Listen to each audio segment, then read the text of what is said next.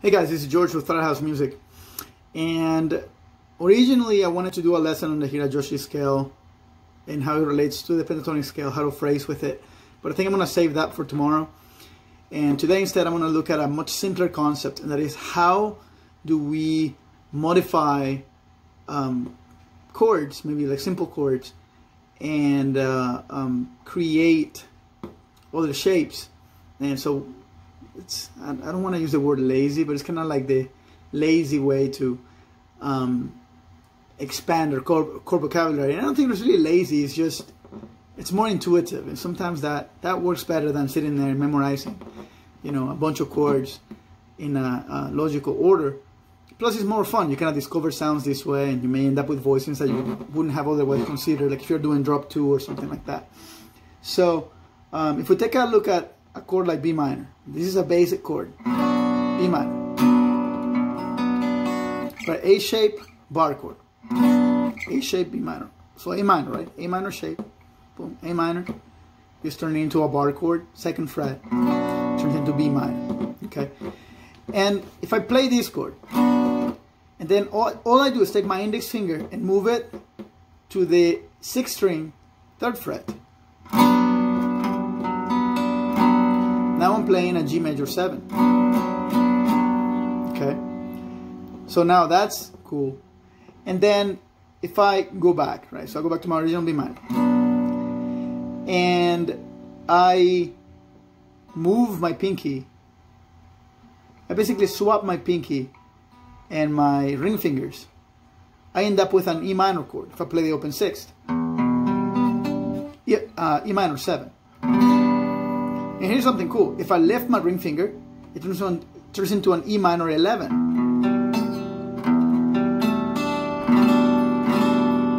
Okay? And those are all those are just sounds that you're messing. Don't worry so much about the name. E minor 11, school chord, or uh, E minor 7. Then, um, what else can we do with this? So I have this.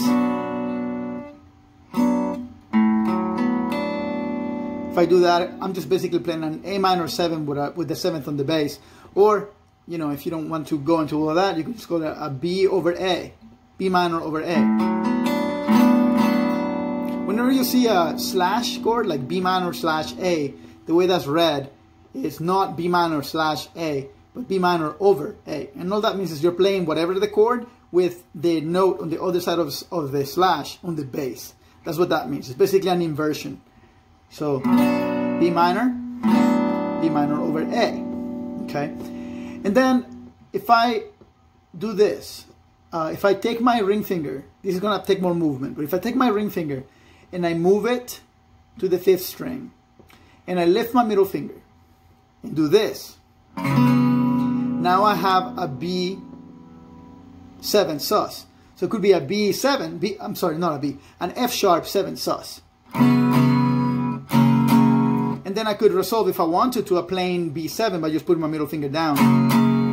Okay, what makes this interesting is that now I have chords that are related to each other because they, there's very little difference between them, and that's the dirty little secret. And It's not really a secret, is that chords that um, have uh, a lot of notes in common are typically related to each other, so they go well together.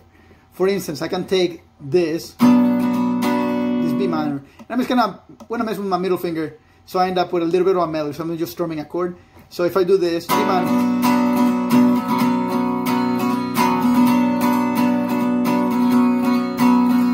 And then maybe I go to the G, right? So.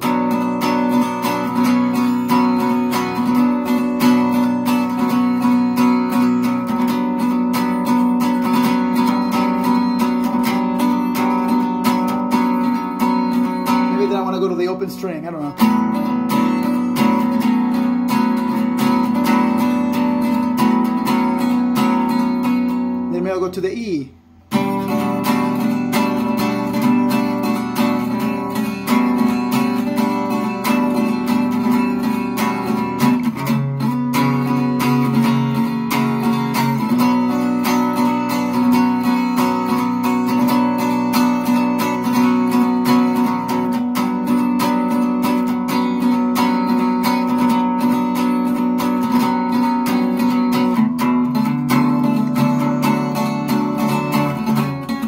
move some somewhere else. I want to like a D major chord. But you can also play.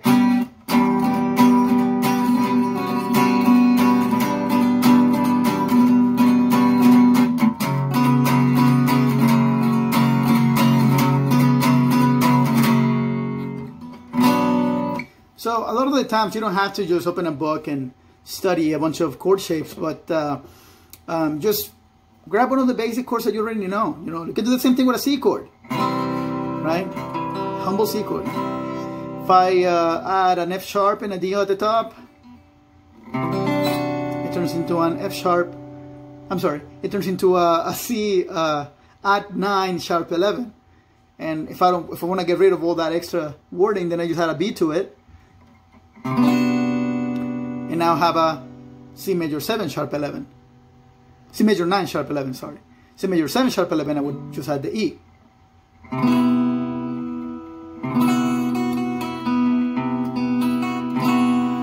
you see, you can just experiment, and by the time you're done with it, you end up with a shape completely different than uh, what you already had. So just don't just learn your shapes and stay there, but experiment. What happens, you know, if you put your pinky somewhere, if you have a free finger, what happens if you swap a finger and you put it somewhere else? and see what happens. Um, at best, you come up with new chords, maybe an idea for a song. At worst, you learn something new and train your ears. So have some fun and uh, just experiment with that. Take it as far as you want. See you guys next time.